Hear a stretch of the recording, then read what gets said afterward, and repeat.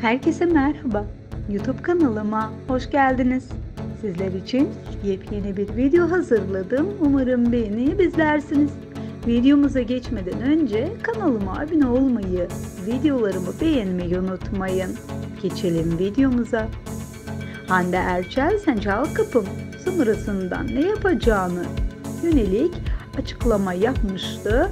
Erçel biraz uzaklaşıp kendime yeni bir e, becerileri katmak, farklı deneyimler yaşamak, almayı e, planladığımı, eğitimleri zaman ayırıp kendimi geliştirmek istiyorum demişti. Hande Erçel'in planı belli oldu. Erçel Amerika'da oyunculuk ve dile e, eğitim alacak. Hande Erçel ve Kerem Bürsin çifti şimdi Sen Çal Kapım'ın final yapmasını bekliyor.